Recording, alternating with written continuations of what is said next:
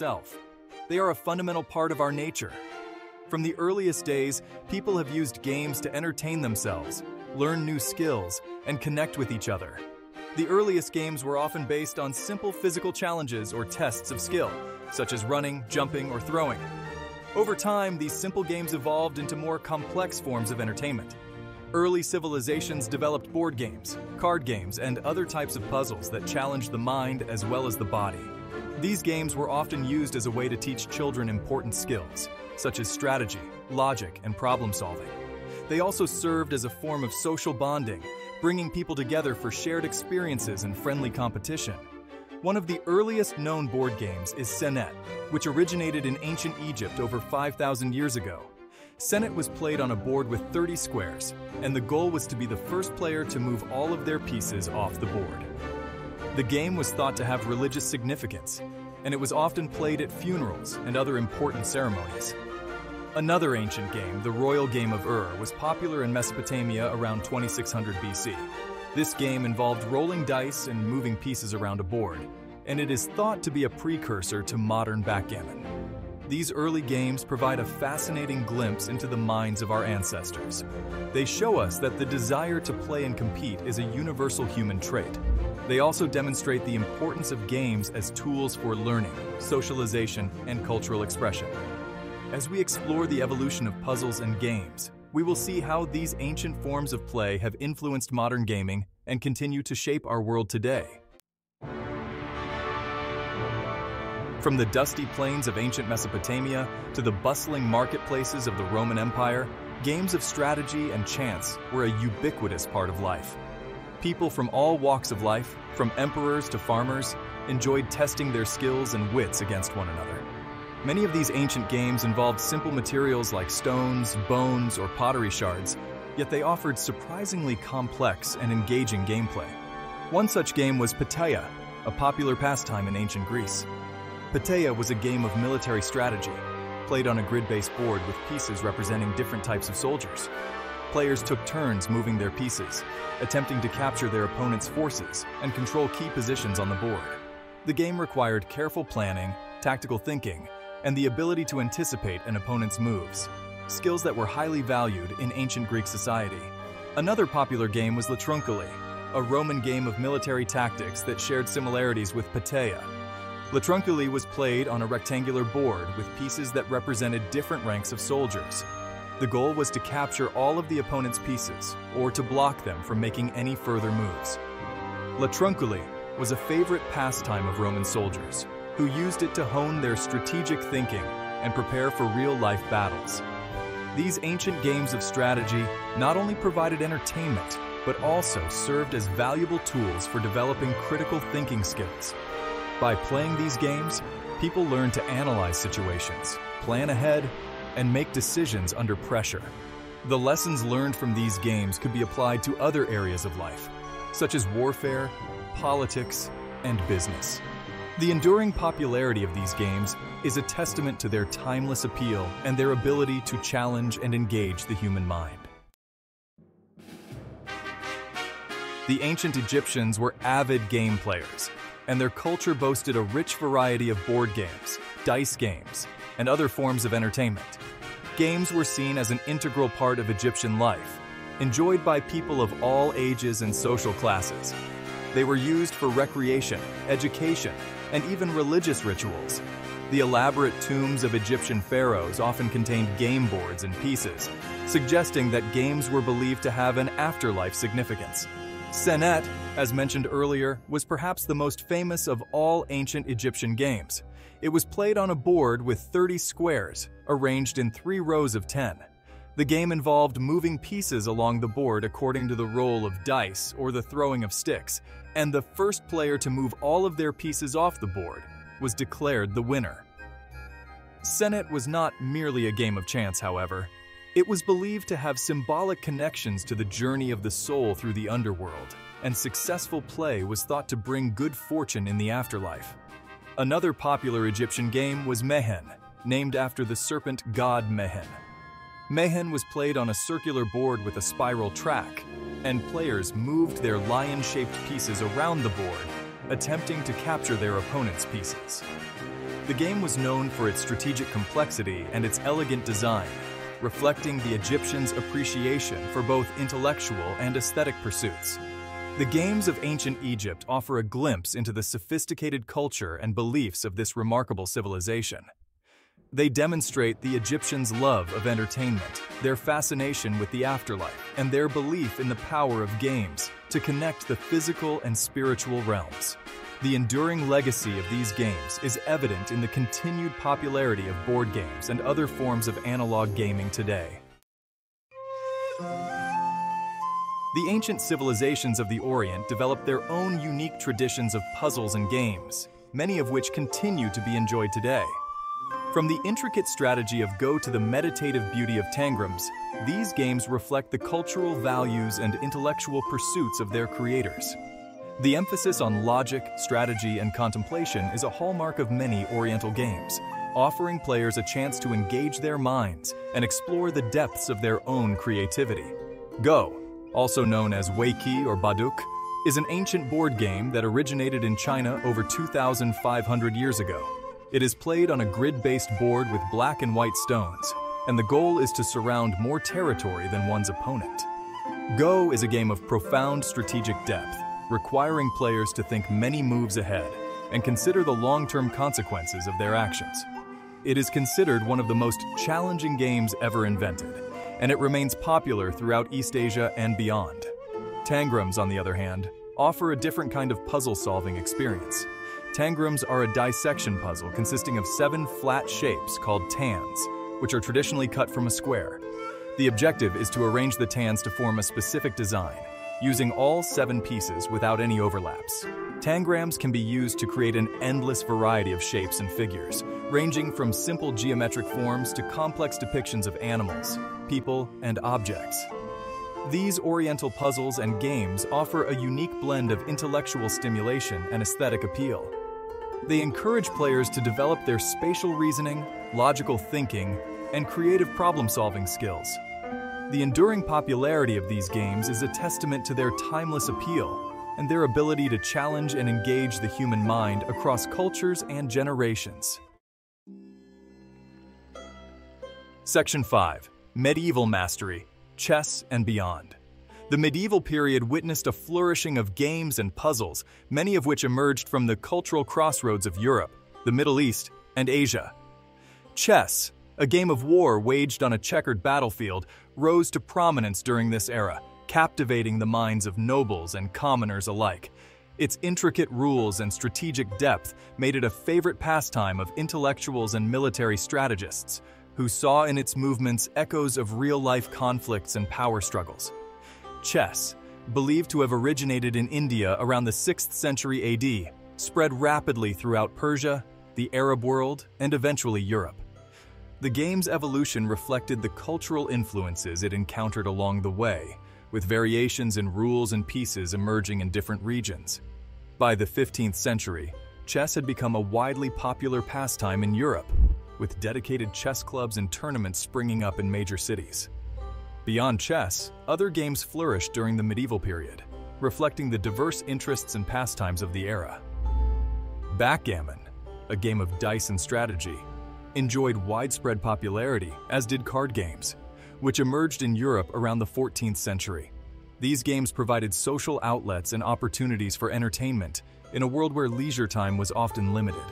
The medieval period saw games and puzzles not only as sources of amusement, but also as tools for education and social commentary. Chess, with its intricate rules and strategic depth, became a metaphor for the complexities of warfare and political maneuvering. Moralistic games, such as the game of Goose, used allegorical imagery and symbolic pathways to teach players about virtue and vice. These games reflect the medieval worldview, where entertainment and instruction were often intertwined. Section 6. Renaissance of Games. The Renaissance, a period of remarkable intellectual and artistic flourishing, saw a renewed interest in classical learning and a surge in creativity across Europe. This spirit of innovation extended to the realm of games and puzzles, which underwent a period of transformation and expansion. New games emerged, reflecting the changing social landscape and the growing fascination with exploration, discovery, and the human mind. Card games, which had gained popularity in the late medieval period, continued to evolve and diversify during the Renaissance. New card games, such as Primero and Tarocchi, emerged, offering players new challenges and opportunities for strategic thinking. Card decks themselves became works of art, with intricate designs and illustrations reflecting the artistic trends of the time.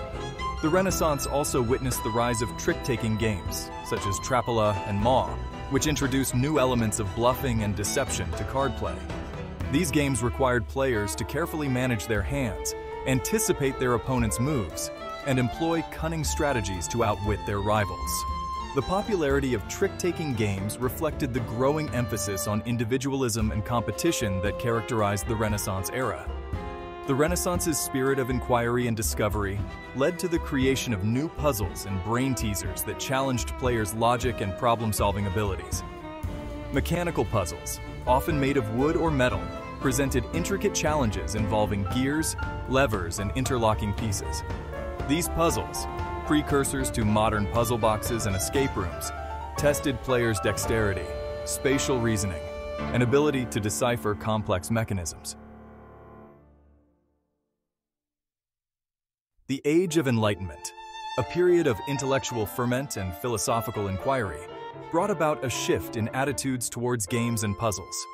While games continued to be valued for their entertainment and social aspects, they were also increasingly seen as tools for understanding probability, statistics, and the workings of the human mind.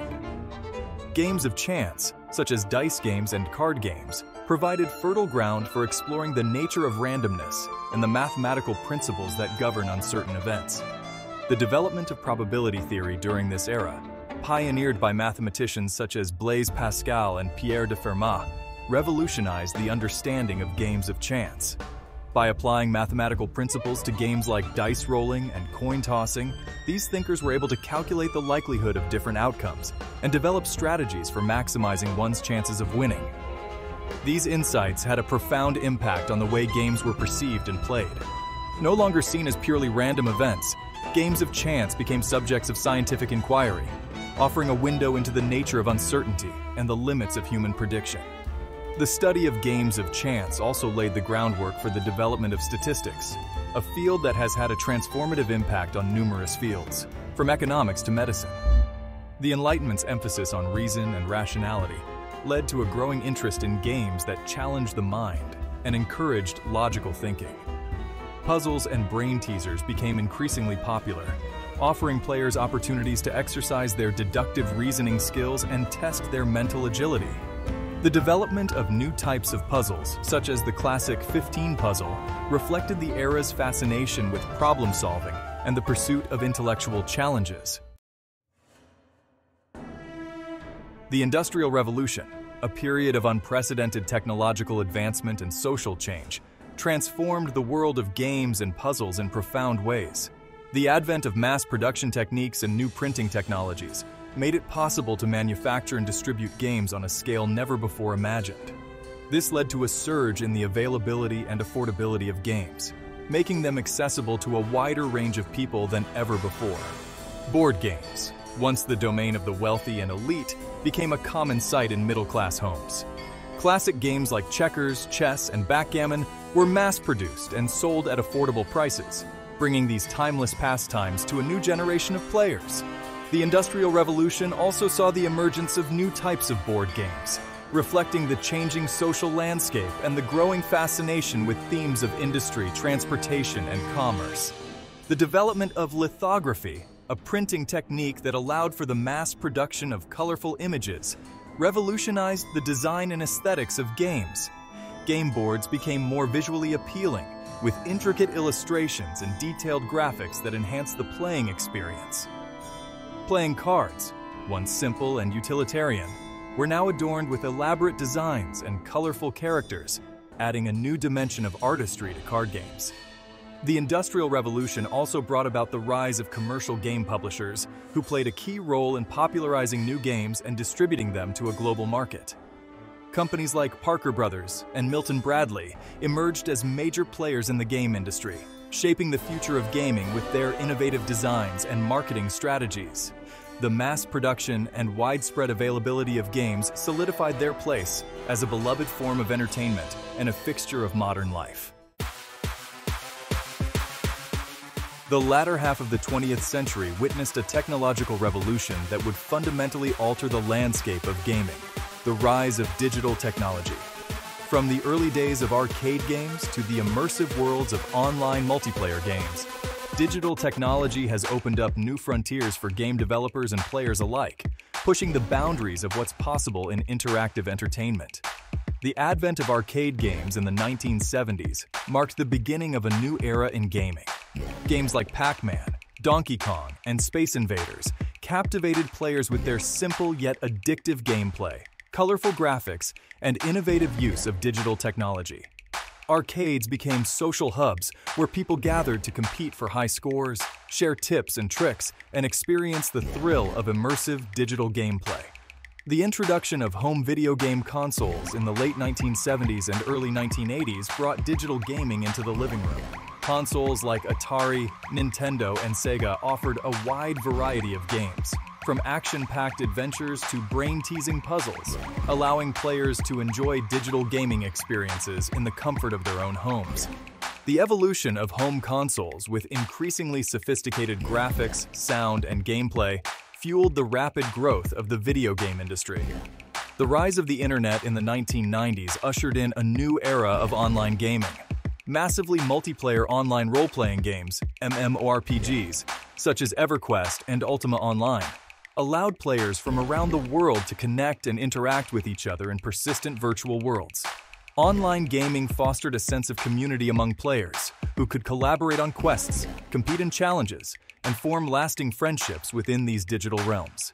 The digital revolution has not only transformed gaming, but has also had a profound impact on social interactions, blurring the lines between the physical and digital worlds. The dawn of the 21st century brought with it a significant shift in the way we play games, thanks to the rise of mobile technology. The introduction of smartphones and tablets has revolutionized gaming, making it more accessible and portable than ever before. Mobile gaming has become a global phenomenon, breaking down barriers and reaching a wider audience than any other gaming platform in history. With the launch of Apple's App Store in 2008 and Google's Play Store shortly after, millions of games became available at our fingertips. Titles like Angry Birds, Candy Crush Saga, and Pokemon Go captivated players of all ages with their engaging gameplay, intuitive controls, and innovative use of touchscreen technology. These games not only provided entertainment, but also fostered social interaction through features like leaderboards, achievements, and in-game chat. Mobile games have also evolved to incorporate complex narratives and high-quality graphics, rivaling those of traditional console and PC games. Titles like Monument Valley, Genshin Impact, and PUBG Mobile have demonstrated that mobile gaming can offer rich, immersive experiences that appeal to hardcore gamers as well as casual players. The accessibility of mobile games has democratized gaming, allowing people from all walks of life to enjoy and participate in this form of entertainment.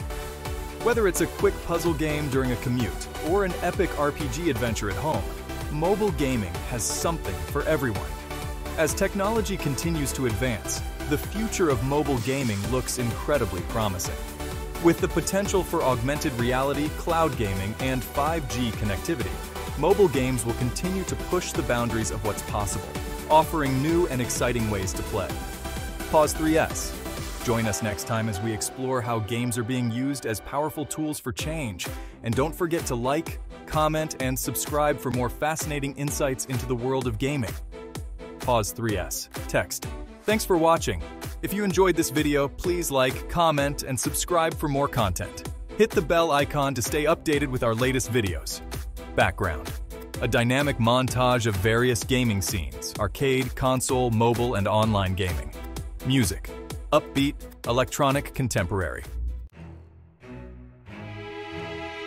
As we stand at the cusp of a new era in gaming, the boundaries between games and reality are becoming increasingly blurred.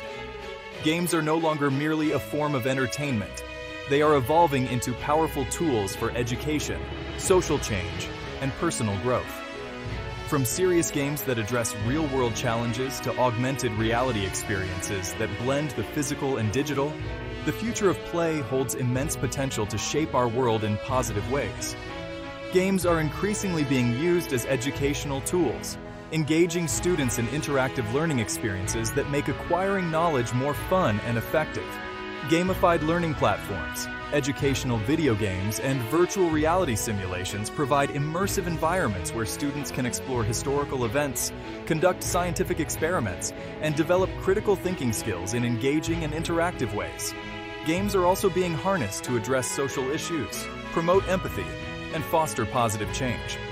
Serious games, designed with specific social or educational goals in mind, tackle topics such as climate change, poverty, and conflict resolution, raising awareness and prompting players to consider solutions to real-world challenges.